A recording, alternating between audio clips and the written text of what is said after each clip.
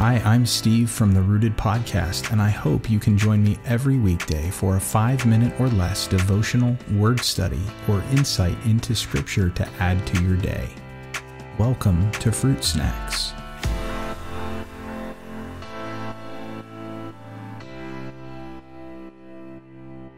Hey everyone.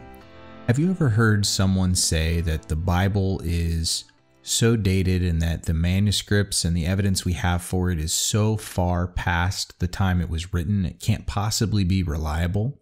Well, actually, today in our Bible background episode, I wanted to share with you something I think you'll find interesting. Did you know that 1 Corinthians chapter 15 verses 3 through 7 might be some of the oldest verses in the entire New Testament?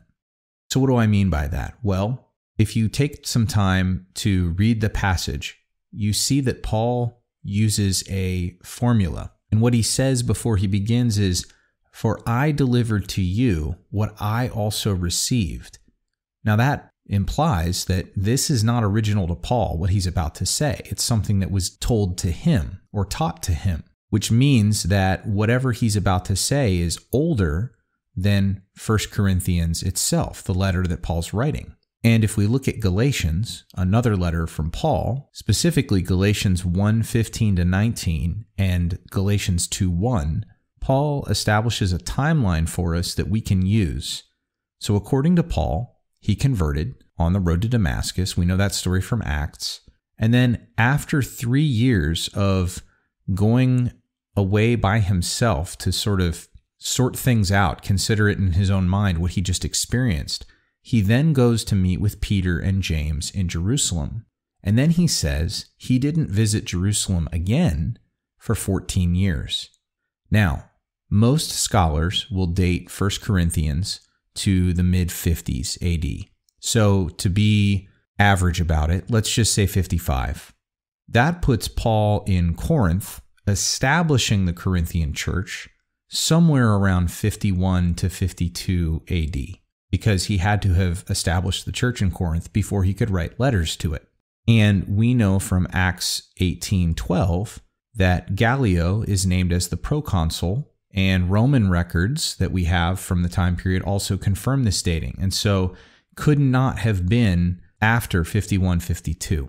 Now, assuming Paul went directly from his second visit in Jerusalem to Corinth to establish the Corinthian church, then that puts his visit after 14 years in the early 50s AD.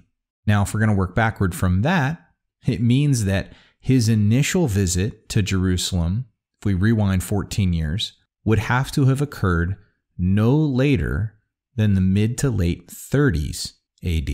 And that means that the creed that Paul states in 1 Corinthians 15, 3 through 7, must have been received within two to three years of Jesus' death. And this isn't just Christians or Christian scholars who are making this claim.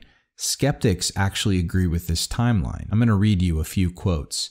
Gerd Ludemann said in his book, The Resurrection of Jesus, the elements in the tradition are to be dated to the first two years after the crucifixion of Jesus, not later than three years. Robert Funk wrote, the conviction that Jesus had risen from the dead had already taken root by the time Paul was converted about 33 CE. On the assumption that Jesus died about 30 CE for Common Era, the time for development was thus two or three years at most.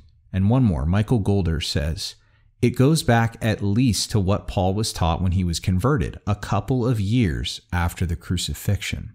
So, what's the takeaway from this? Other than knowing a neat Bible fact.